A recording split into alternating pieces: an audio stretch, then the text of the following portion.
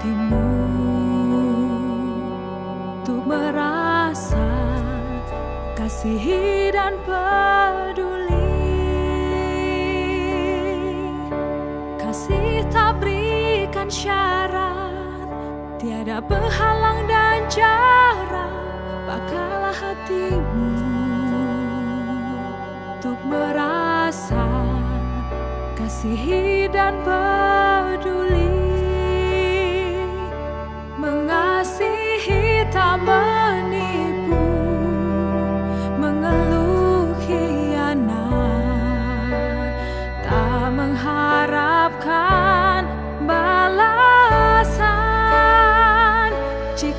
mengasihi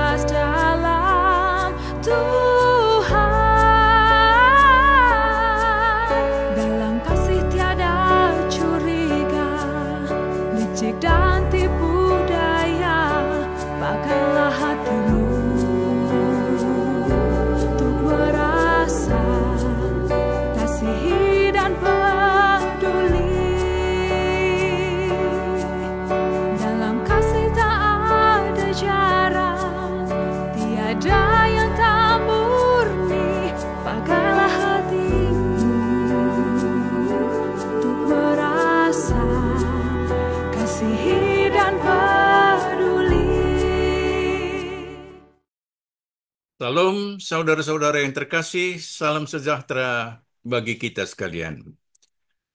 Kiranya damai sejahtera dari Tuhan melimpahi hidup kita masing-masing.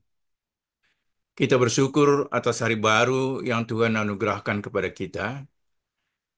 Dan pada hari ini tentu banyak di antara kita yang akan melakukan berbagai aktivitas namun sebelum kita melanjutkan semua aktivitas kita, kita rindu mendengarkan sapaan firman Tuhan yang akan menjadi pedoman bagi kita untuk mengerjakan tugas-tugas kita. Sebelumnya, marilah kita satu di dalam doa. Kita berdoa. Tuhan Bapa kami yang ada di surga, terima kasih untuk hari baru dan kehidupan yang Tuhan berikan kepada kami. Kami dimampukan dan diberikan kesempatan untuk melakukan berbagai aktivitas pada hari ini. Tetapi kami rindu mendengarkan sapaan firman Tuhan yang akan menjadi pedoman bagi kami di dalam menjalani segala aktivitas kami. Berbicaralah kepada kami ya Tuhan, karena kami siap mendengarkannya di dalam nama Yesus Kristus kami berdoa. Amin. Saudara-saudaraku yang terkasih, Firman Tuhan yang menjadi dasar renungan kita pada hari ini terambil dari kisah para rasul pasal 2 ayat 42 dan mari kita dengarkan saya bacakan untuk kita. Mereka bertekun dalam pengajaran rasul-rasul dan dalam persekutuan dan mereka selalu berkumpul untuk memecahkan roti dan berdoa. Saudara-saudaraku yang terkasih, dalam Alkitab kita, di mana ayat ini tertulis perikopnya berjudul Cara Hidup Jemaat yang Pertama. Cara hidup jemaat mula-mula ini berdasarkan ayat ini dapat kita perinci sebagai berikut. Yang pertama, mereka bertekun dalam pengajaran rasul-rasul. Kemudian yang kedua, mereka bertekun dalam persekutuan dan selalu berkumpul untuk memecahkan roti dan berdoa. Saudara-saudara, pengajaran rasul-rasul yang disampaikan kepada jemaat mula-mula itu adalah ajaran yang mereka terima dari Tuhan Yesus. Akibatnya hidup mereka diubahkan. Tadinya pembenci Tuhan Yesus akhirnya menjadi pengikut setia. Tambahan lagi, mereka semua bertekun dalam persekutuan. Kata persekutuan di sini diterjemahkan dari bahasa Yunani yaitu koinonia. Persekutuan atau koinonia berarti dipersatukan oleh semangat cinta kasih yang diwujudkan dalam berbagi bersama, saling mengasihi, dan saling peduli.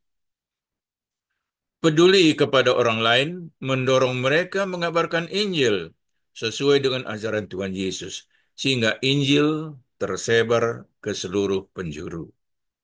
Selanjutnya, saudara-saudara, jemaat mula-mula itu dapat menerima bahkan bersyukur dan merayakan perbedaan-perbedaan di antara mereka. Mereka memang berbeda satu dengan yang lain. Asal-usul mereka berbeda, suku mereka berbeda, bahasa mereka juga berbeda-beda. Tetapi mereka satu dalam persekutuan karena Roh Kudus mempersatukan, mempersekutukan mereka.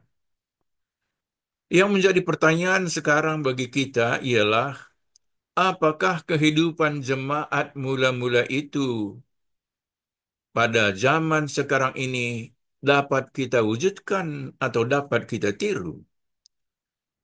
Tentu, saudara-saudara, secara harfiah hal itu tidak dapat kita lakukan karena kehidupan 2000 tahun yang lalu jauh berbeda dengan kehidupan kita pada waktu sekarang ini. Namun saudara-saudara, kita harus meneladani jiwa kehidupan mereka. Oleh karena itu, kita pasti dan harus bertanya, apakah kita masih bertekun dalam pengajaran rasul-rasul yang kita sebut sebagai firman Tuhan yang tertulis dalam Alkitab kita? Jadi, apakah kita bertekun membaca Alkitab secara pribadi maupun di dalam persekutuan seperti jemaat mula-mula itu? Selanjutnya, apakah kita masih bertekun mengikuti persekutuan, mengikuti kebaktian-kebaktian gereja kita? Atau apakah kita sudah merasa puas hanya terdaftar sebagai orang percaya atau menjadi anggota jemaat denominasi tertentu dan hanya sekedar terdaftar atau tertulis nama kita di dalam denominasi tertentu. Tetapi di dalam kenyataannya kita jarang mengikuti kebaktian dan jarang mengikuti persekutuan dan tidak peduli terhadap sesama. Dalam salah satu postingan mengenai GBKP ada tercantum data beberapa tahun yang lalu bahwa jemaat yang aktif mengikuti kebaktian-kebaktian hanyalah 40% saja. Puji Tuhan, kalau kita memang termasuk di antara yang 40% tersebut. Tetapi kita masing-masing wajib memotivasi sahabat-sahabat kita, saudara-saudara kita, untuk berkumpul sebagai jemaat dan saling mendoakan. Untuk itu, marilah kita terapkan tema pelayanan GBKP, yaitu berkarya dan berguna untuk orang lain. Amin. Mari kita berdoa. Terima kasih Tuhan atas firman-Mu yang telah kami terima pada hari ini. Mampukanlah kami agar kami tetap bertekun dalam membaca firman-Mu, rajin dalam persekutuan, dan agar dalam hidup dan karya kami, kami berguna bagi sesama kami manusia. Dalam kesempatan ini kami juga berdoa untuk jemaat Tuhan yang ada di Cilengsi. Kami berdoa untuk Pendeta Eflida Bruginting, sekeluarga, dan semua pertua diakan, baik yang masih aktif maupun yang sudah emeritus. Dan kami juga berdoa untuk semua pengurus kategorial, semua yang kami kasihi anggota-anggota jemaat Cilengsi, dan kiranya Tuhan berkati mereka semua. Apabila di antara anggota-anggota jemaat ada yang sakit, kiranya dengan pertolongan Tuhan, kesehatannya dipulihkan. Tuhan adalah gembala yang baik, yang mengetahui pergumulan anggota-anggota jemaat Cilengsi. Tuhan sanggup memberikan kelegaan bagi setiap anak-anak Tuhan yang mengalami kesulitan-kesulitan di dalam kehidupan mereka. Dan kiranya sama seperti jemaat mula-mula, anak-anak Tuhan di Cilengsi bisa saling membantu, menolong satu sama yang lain, dan menolong mereka yang membutuhkan pertolongan. Inilah doa kami ya Bapa, yang kami sampaikan dalam nama Tuhan kami Yesus Kristus, yang telah mengajari kami berdoa, yaitu doa Bapa kami, yang kami ucapkan secara bersama-sama. Bapa kami yang di surga, dikuduskanlah namamu, datanglah kerajaanmu, jadilah kehendakmu di bumi seperti di surga.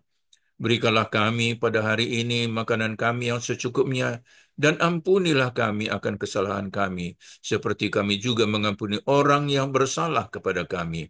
Dan janganlah membawa kami ke dalam pencobaan, tetapi lepaskanlah kami daripada yang jahat. Karena engkaulah yang mempunyai kerajaan, dan kuasa, dan kemuliaan, sampai selama-lamanya. Amin. Shalom saudara-saudara, menjuah-juah kita kerina, Tuhan memberkati. Amin.